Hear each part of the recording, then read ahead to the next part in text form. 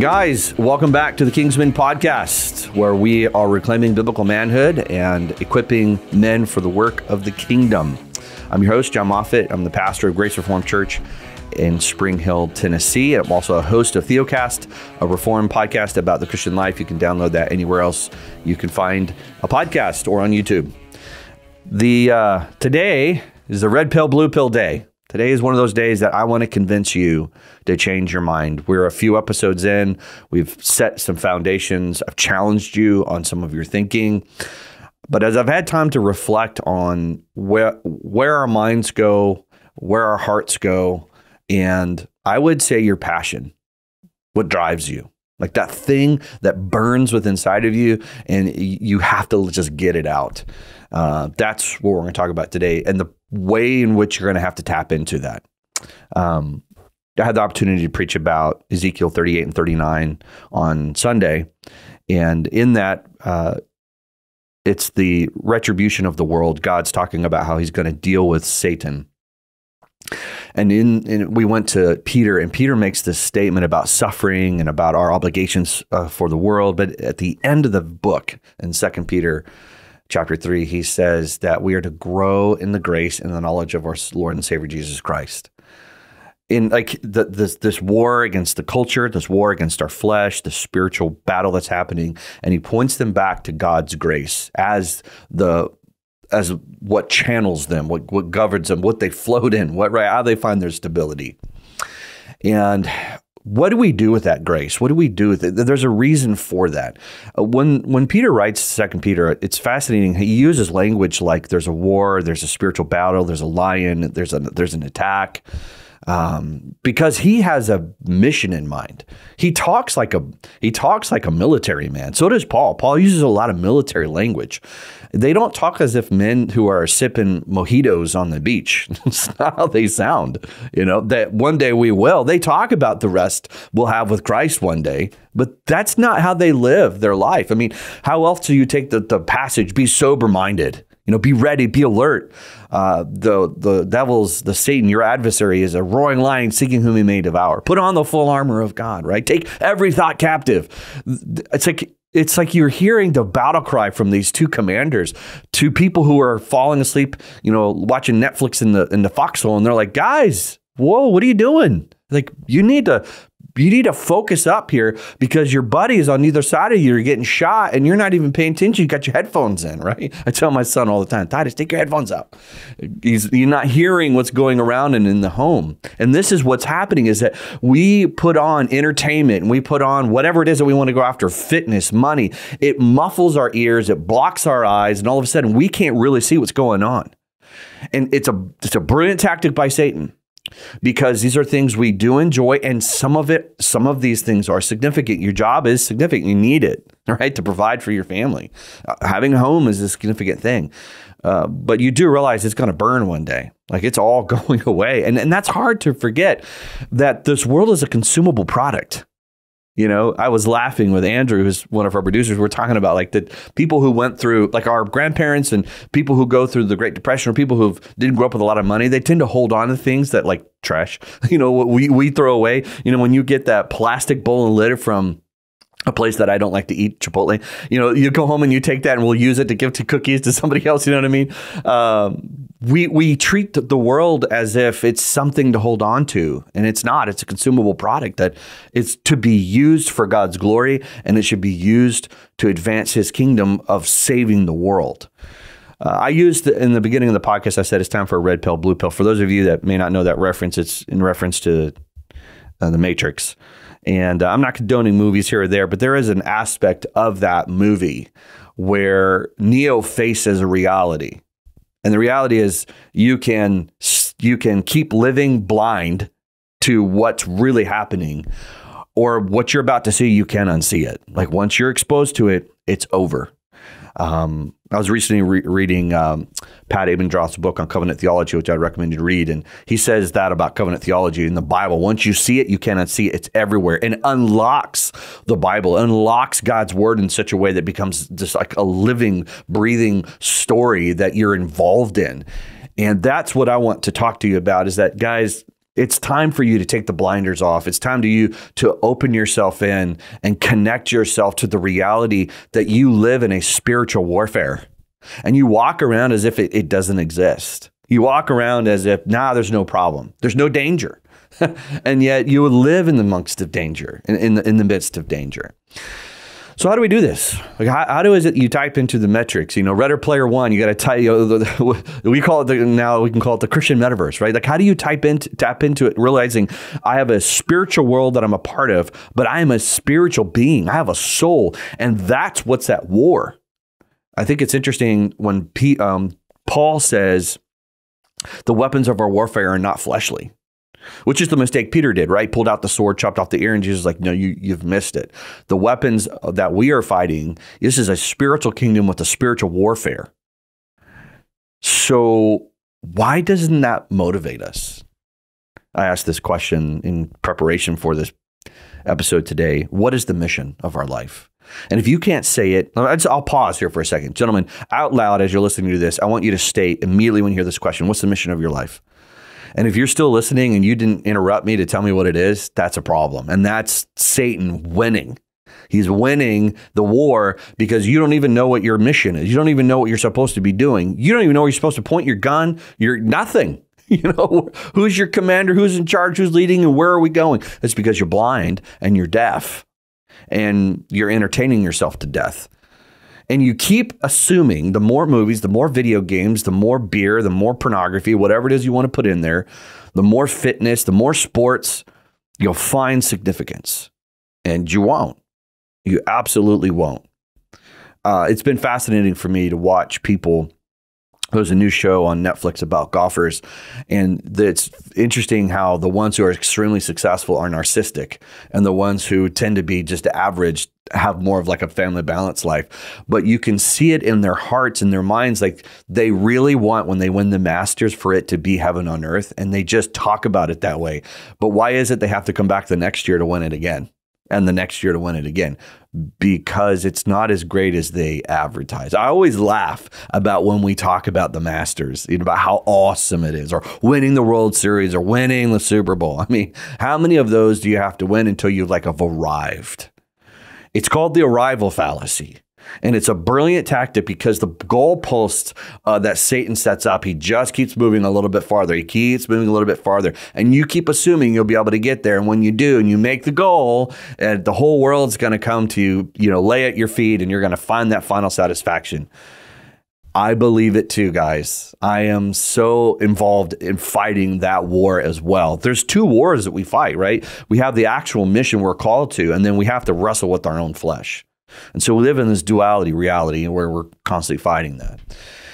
I think what's going to be helpful for us is if we can walk around with that constant awareness that it's we're not fighting the government, we're not fighting gun control, we're not fighting uh, the sexual battles that are out there. Those are the results of the real war, right? That's the effect of the real war. The real war happens in the heart and the mind of people.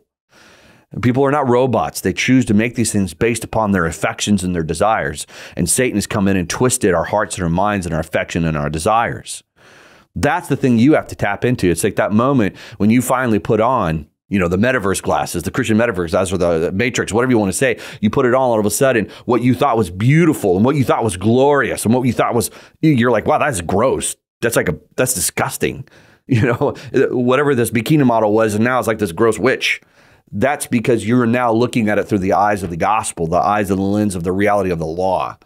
And when you leave those on and you don't take them off, all of a sudden the world begins to fade.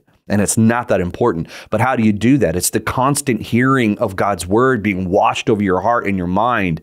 It's being, it's tapping into that and not allowing anything to get in the way of it right? This is why it says looking unto Jesus, the author and finisher of our faith. It's that constant focusing upon Christ.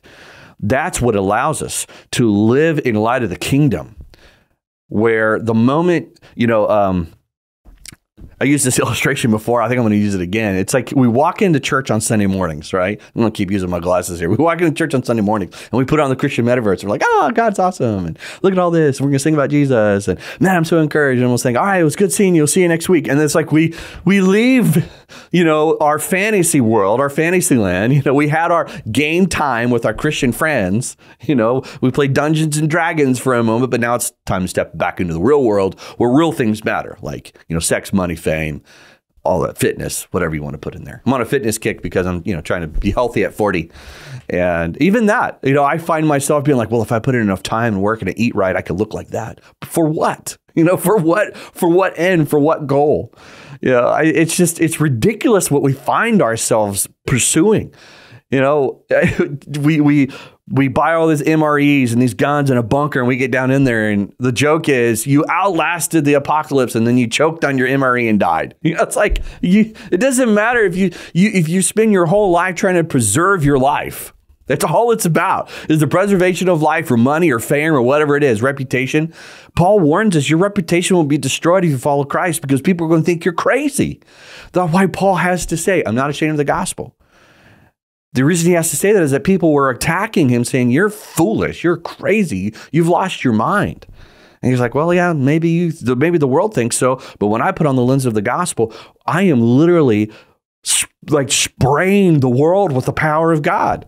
Yeah, I look like a crazy man because I'm like, the more of the gospel that goes into the world, the more power of God is here. I, I, I want to get more of it out there, not less. You take off those glasses, all of a sudden it's like, oh, I need sex, money, I need fame and entertainment. I need, I need to prestige. I need this. I need that. and you know what happens to the gospel? It goes in the back of our mind. It, it becomes of no value. And then, as Second Peter says, we're of no value or ineffective for the for the work of the kingdom. We're fruitless in that way. So, I I want us to start thinking about what causes our mind to unplug from the reality of the kingdom, the spiritual war that we're a part of. You know, our wives, gentlemen, if you're married, our wives need us to love them and care for them, to build them up and strengthen them, to be there as far as a light of hope, or so do our children.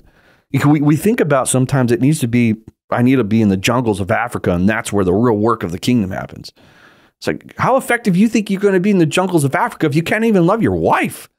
you're gonna you're gonna live with bad food, bad water, bad bad hygiene, no internet, no social media, no no no Netflix, one pair of clothes, and you're going to be effective at it.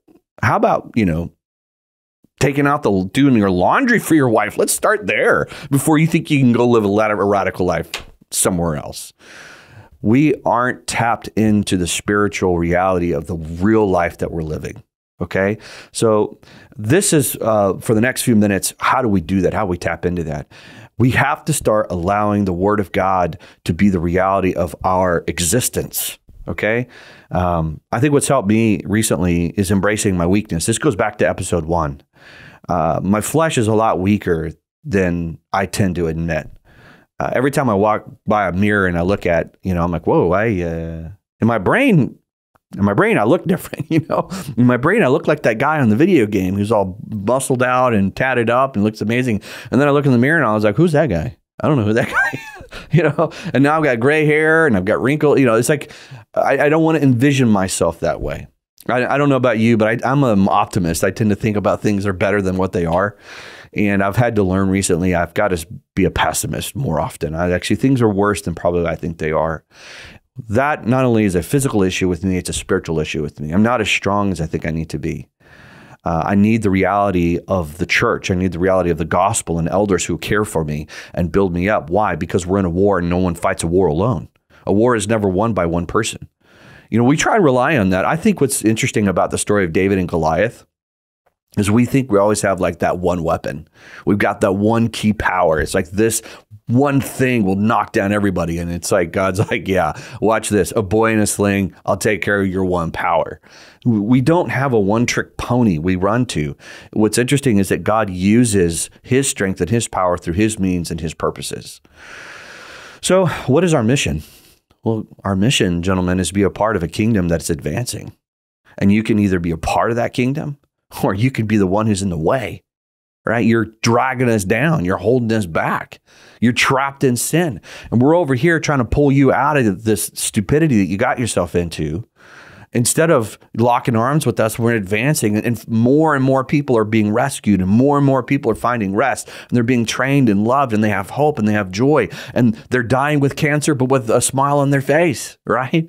You know, they're losing a child uh, before they're even born, but yet they have hope, right? Why? Because the kingdom, the reality of the spiritual kingdom that we have tapped into, that we we understand of what's really happening, we're a part of it. We're effectively a part of it. Um, you know, when you live your life in two ways, you know, the way one of the ways I, I grew up in the dispensational world, there was like this heavy emphasis on uh, awards, you know, rewards in heaven, and uh, you know, the motivation was, well, you don't want to get to heaven and not have any rewards, right? It, it was like a pride thing, but then they would make it humble, like, well, you're going to lay all those rewards at the feet of Jesus. I'm like, yeah, right. This is all a ploy to manipulate me to try and act a certain way because you think if I act that way, then it's a better reflection on you as a church and a pastor. And I saw the manipulation. I saw what it was. You were more concerned about my actions and reflection of you than you were really about me. And so you use dread tactics. Well, you don't want to be living an unholy life when the rapture happens because you're going to be stuck in the rapture. And then if you live a holy life, you'll have rewards in heaven. What kind of God is that? That's horrible. You know, I don't even treat my own kids that way. I, I don't manipulate my kids. It, it's fascinating to me. That's how we treat Santa Claus. You know, it's like coal, which is a means for fire, by the way. Do you ever think about that? Just interesting reflection. And then, you know, you get whatever it is that you request if you obey. And then this is how we treat God. And no wonder why people repulse against that. Versus a God sweeps in and, and he shows shines a light on you, exposes you out of the darkness, and it is terrifying. And all of a sudden you realize, oh, I I I am I am so undone. I'm so done. What, what am I going to do? And then in why that light is just shining down on you, exposing all the filth and all that shame. He says, I, he cleanses us. He washes us with his blood, right? And then he goes, Hey, by the way, I've got a new name for you. Now that you're cleansed, there's a brand new name for you. I will call you my child. And now you belong to me. You have my name. You're a part of my family now. Oh, by the way, there's this thing called righteousness. It's required. Here it is. Here's the robe the robe of righteousness. Like the prodigal son story, which is fascinating. It's like his son, the father takes on the humility, embraces the son, puts a robe on him, puts a rings on him, and then brings him in back into fellowship, right? Kills the fatted calf. That's exactly the imagery that we have. So in the light of the law comes and exposes us, the, the gospel of hope comes, and now we are resting in our cleansing, we're resting in the righteousness of God. And then he puts his arm around us and very gently and very, in a very affectionate way says, do you know there are other people in the world who can feel and experience what you have if you're willing to tell them. It's like, wait, what? Are you kidding me? Yeah, but listen, it's it's going to be complicated. Like um, every day you're going to wake up and you're going to want to do something else, and you're gonna they're going to lie to you like sex and money and things that are good, things that are can honor and glorify me, food, fame, music, things that can honor and glorify me. You'll end up using them to uh, you'll end up using them for Satan, the the enemy. I won't do that. No, no, listen to me. You listen to me. You will. You are going to do this. Uh, you're going to do it a lot, and it's going to be a war. And at times, you're going to give in, and you might give in badly. But this is why I want you to hear. But listen, you can with boldness run back into this conversation with me, back into this embrace, and we're being reminded of the cleansing of the blood and the, the righteous of the robe and this affectionate calling on my child. You can run back in here and I'll give you mercy and I'll give you grace anytime that you need it while on this mission. Okay. So when you fumble and you mess up, just come back in and get cleansed. Come back in and be renewed, restored. Okay. And I'm going to put you in with an army.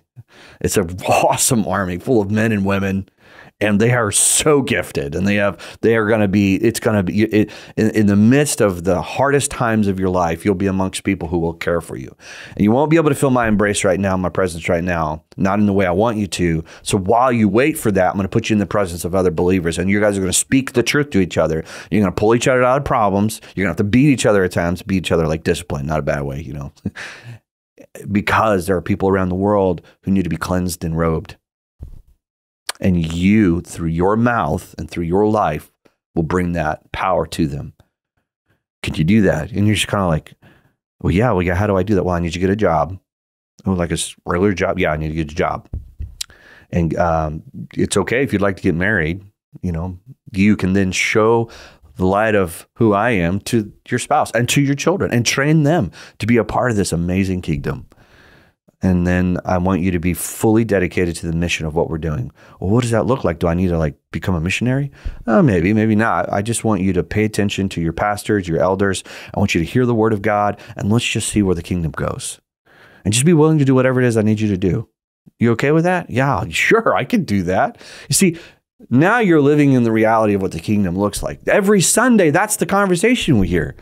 The father says, Hey, do you know what I did in the past? Hey, let's, let's start let's start in Genesis. Let me tell you how I did this in the past. And you look at that and you're like, wow, he's powerful. He's awesome. Yeah. Now I need you to go and do it again. And every week we look at the past to remind us of the future. We look at what Christ has done faithfully through every generation. And he says, I'm not done yet, right? Uh, by the way, this is the last thing I need you to hear me. You're probably going to suffer because you have to understand it's a war between me and the adversary, and the adversary turns everybody against me. So they're going to come after you and they're going to attack you. But you have to understand they're being controlled right? It's your job to turn the other cheek. It's your job to give them your cloak. It's your job to show them light and salt by your words and by your actions so that we can bring them over to our side. And when we're done bringing everybody over, I'm going to come down, I'm going to deal justice on this world, and we're going to have a new heavens and new earth, and it's going to be wonderful, and you will no longer need that robes of righteous because you will be righteous. I mean, I won't have to have this, and like I won't feel guilt and shame anymore. It's like, no, you won't need the robe because you will be. And I won't feel guilty. Nope, you won't feel or sad or cry or death. But not right now. Okay, can you handle that? And you're probably going to die, and it's going to be, but you're okay with that, right? Yeah, yeah, I can do that. The guys, that's where we live. That's where we want to be. So as you tune into this podcast, that's our hope. The hope is that I can recalibrate your brain, get your focus, get you tagged back into the Christian metaverse, right? Open your mind up to the matrix. You do not live in a, in, in a, in a, in a level playing field. You live in a you live in a field where it's in constant battle in the flesh and in the spirit. And we need to be reminded who our King is and how he loves us. And we need to be reminded that your actions matter. How you do your job, how you love your family, how you love your children. It's all reflection for the advancement of the King and to help them find the joy of Christ. And as Paul says, when you live that way, you can be content with a lot of money or not, with cancer or without, with kids or without, with wife or without, because your focus is the mission, not pleasure. Well, I hope that was helpful for you guys, and uh, we'll see you next week.